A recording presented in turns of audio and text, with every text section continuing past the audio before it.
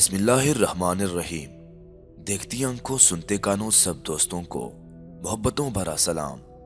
میں ہوں رب نواز خان اور آپ دیکھ رہے ہیں خان وائس چینل۔ محترم عزیز دوستو، کہتے ہیں کسی دور افتادہ دیہات میں ایک معزز مہمان آیا۔ بڑی او بگت ہوئی، گاؤں کا گاؤں اس کے سامنے بچھا جا رہا تھا۔ کھانے کا وقت آیا تو انواع اقسام کی نعمتیں اس کے سامنے دسترخوان پر لا کر چن دی گئیں۔ ساتھ ہی ایک بڑی سی سینی میں ایک لمبا سا اور موٹا سا ڈنڈا بھی لا کر رکھ دیا گیا۔ مہمان نعمتیں دیکھ کر تو خوش ہوا، مگر ڈنڈا دیکھ کر ڈر گیا اور سہمے ہوئے لہجے میں پوچھا، آپ لوگ یہ ڈنڈا کس لیے لائے ہیں؟ میزبانوں نے کہا، بس یہ ہماری روایت ہے، بزرگوں کے زمانے سے چلی آ رہی ہے۔ مہمان آتا ہے تو اس کے آگے کھانے کے ساتھ ساتھ ڈنڈا بھی رکھ دیتے ہیں۔ مہمان کی تسلی نہ ہوئی۔ اسے خوف ہوا کہ کہیں یہ تمام ضیافت کھانے کے بعد ڈنڈے سے ضیافت نہ کی جائے ہو۔ اس نے پھر تفتیش کی۔ پھر بھی اس کا کچھ تو مقصد ہوگا۔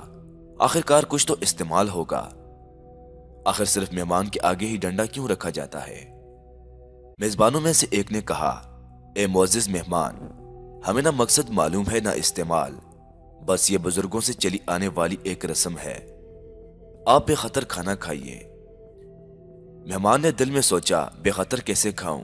خطرہ تو سامنے ہی رکھا ہوا ہے۔ پھر اس نے اعلان کر دیا کہ جب تک آپ لوگ یہ نہیں بتائیں گے کہ آپ کے یہاں بزرگوں کے زمانے سے مہمان کے دسترخوان پر ڈنڈا کیوں رکھا جاتا ہے، کیڑے کو پتھر میں رزق پہنچانے والے کی قسم میں آپ کا ایک لکمہ بھی نہیں کھاؤں گا۔ اب تو پورے گاؤں میں کھلملی مچ گئی۔ کہ مہمان نے کھانے سے انکار کر دیا ہے۔ آخرکار گاؤں کے ایک بزرگ بلائے گئے۔ انہوں نے سارا ماجرہ سنا اور دسترخوان پر رکھا ہوا ڈنڈا دیکھا تو برس پڑے۔ ارے کم بختو، تم نے اتنا بڑا ڈنڈا لا کر رکھ دیا۔ اسے کم کرو، ہمارے بزرگ مہمان کے سامنے اتنا بڑا ڈنڈا نہیں رکھتے تھے۔ ڈنڈا فلفور آری سے کاٹ کر دو تین فٹ کم کر دیا گیا۔ مگر مہمان پھر بھی مطمئن نہ ہوا۔ اسے اپنے سوال کا جواب درکار تھا۔ اب ایک نسبتاً زیادہ بزرگ بلائے گئے۔ انہوں نے بھی سارا ماجرہ سنا۔ انہوں نے بھی ڈنڈا ناپ تول کر دیکھا اور انہوں نے بھی اعتراض کیا۔ ڈنڈا اب بھی بڑا ہے۔ ہمارے بزرگ تو مہمان کے آگے ایک چھوٹی سی پتلی سی ڈنڈی رکھا کرتے تھے۔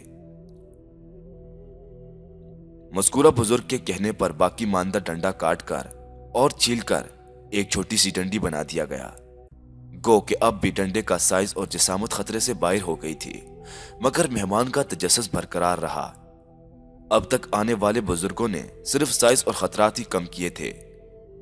اس کا استعمال اور اس کا مقصد کوئی نہ بتا سکا تھا۔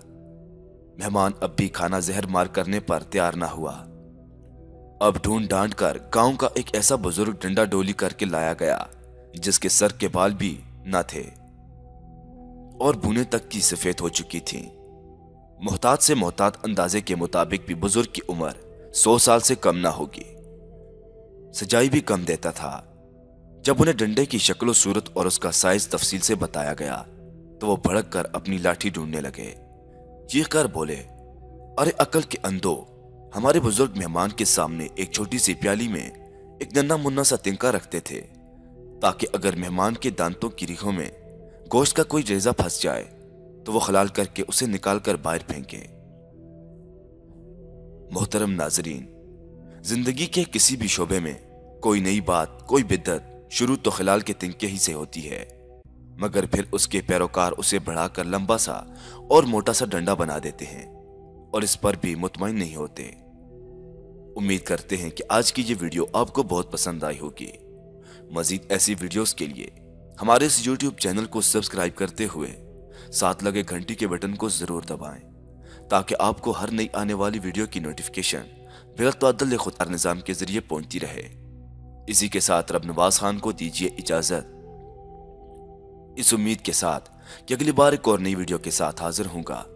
تب تک کے لیے اللہ پاک آپ سب کا حافظ و نگہبان، وعلیکم السلام۔